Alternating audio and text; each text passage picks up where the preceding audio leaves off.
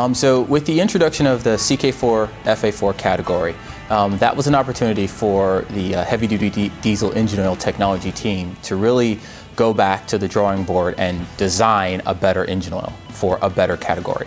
Um, so that process really involved uh, what we call our 6Ds procedure, which is looking at designing, defining, developing the engine oil. So figuring out what you want to do with your portfolio, figuring out what you want to do with the technology, taking that, that concept, translating it over to what you actually want to deliver in each product in the portfolio, um, then to a step of actually running the engines and the testing that go along with that category.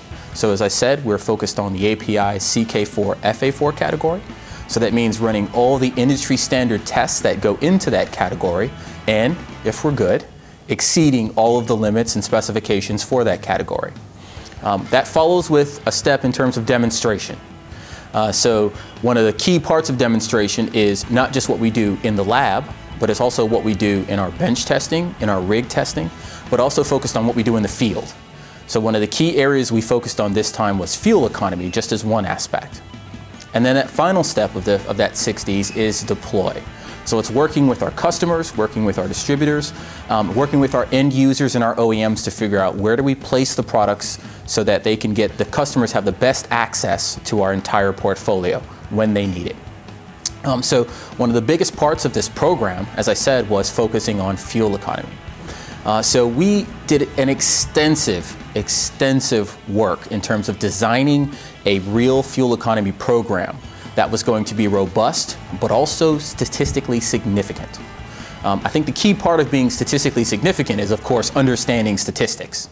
Uh, so the fuel economy numbers that we present when we talk about our products and the fuel economy gains we deliver are focused on one key concept called 95% confidence interval. And that means that 95%, 95 times out of 100, excuse me, we will see a difference when we say there's a difference between two oils. So in this case, uh, one of the numbers that we, we've proposed for this new category is a 1.6% fuel economy gain for a CK4 10W30 versus a CK4 15W40.